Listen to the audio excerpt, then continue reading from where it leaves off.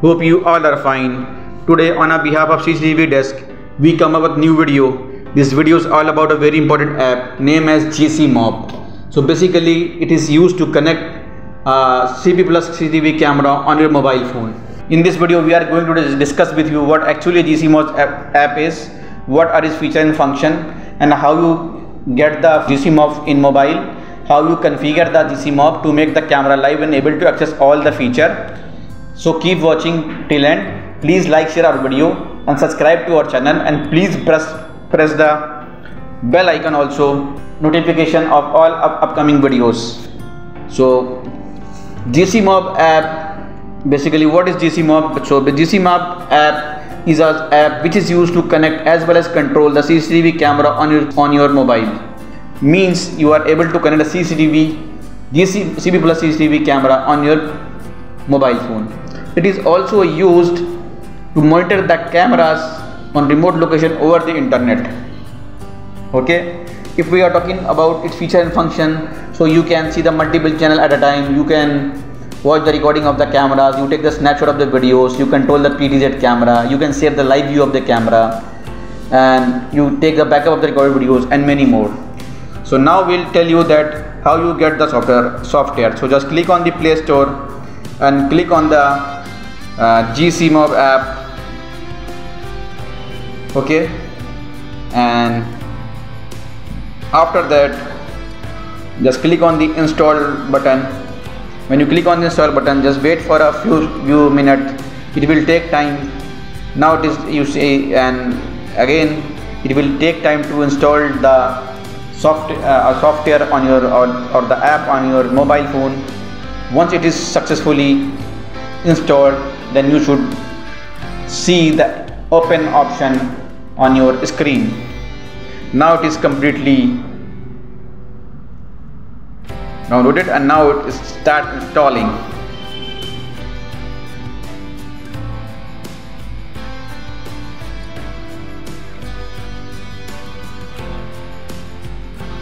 Now it's checking for whether it, it, it, it is a, a good software it is, it is a software free from the malware and trojan.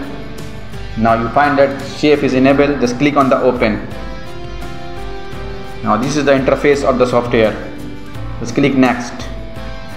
And here you it asks for allow gCMOB to access photos and media. So it it uh, so in my case I just allow it. If you don't want to need you it's it's your choice. And now here it asks for a camera or door phone. Just click on the camera and click the next this is the interface of the software. Now what should you do? Just click on this three line on the top of the left corner. Just click on this. And after that here you find the device manager option. Just click on the device manager option. Now here you find the two options like remote devices or local devices. If you are on the same network means your lap your mobile phone and your device is on the same network then you should click on the local devices. Otherwise you should click on the remote, remote devices. So i have a remote devices. Just click on so i just click on the remote devices. And in the top of the right corner you find the plus video button. So just click on the this plus top uh, this plus button.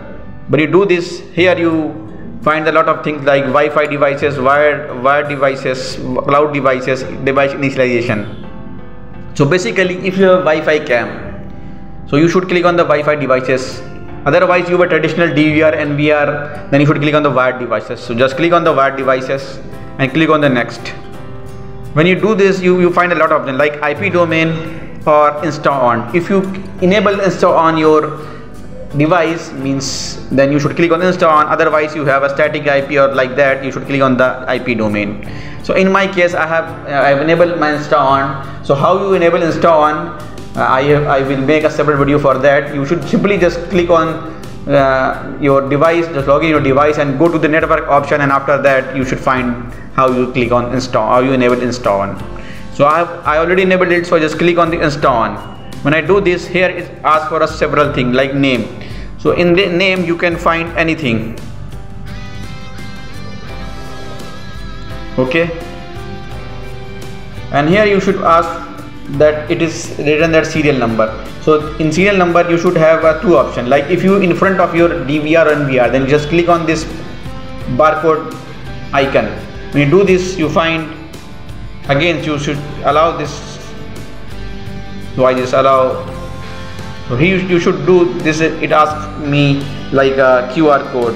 It, it asking for me to scan the QR code okay? And now here you should click just the, when you click uh, just little left on the QR code then it asks for a serial number to enter manually. So I just insert my serial number manually. So here is my serial number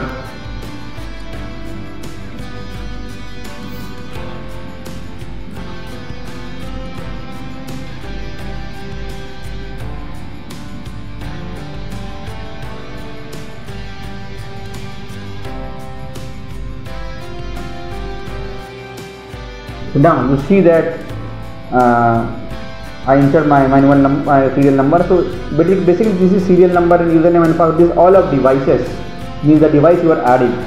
And now it's for uh, username of the device and again the password of the device. So here I enter my password of my device.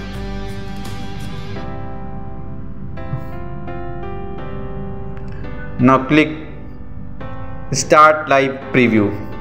When I do this you find within a second or it totally depend on the internet speed at my lo my uh, location and the uh, remote locations.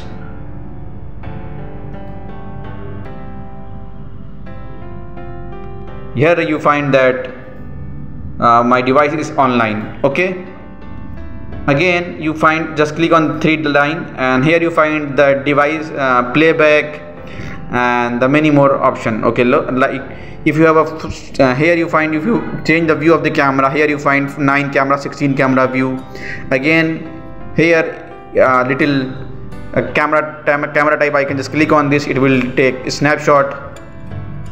And again just beside just little uh, video camera icon button just click on this it will start recording your videos on your phone and if you want to check the playback just again click on three line and here you find the playback option like this okay? Again it asks to me to add a camera just click on this. And here you should see that it asks for uh, me to enter the date. So I just enter my date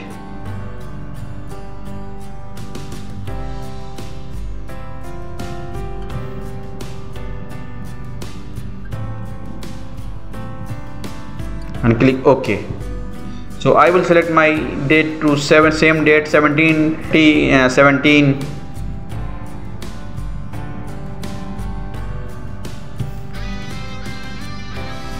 1745 okay and just in all like I type uh, all and just here you find my device. Just click on the test device and select the camera. And here you should see that it it comes live okay so in that way you can check the playback and in and playback also you can change the snapshot and the recorded record the video and even you can trim the video. You can download the video. So when you click on the scissor option you are able to download it. So this is all for this app. So thank you for watching and thank you once again for subscribing and sharing our video and subscribing our channel. Thank you. Have a nice day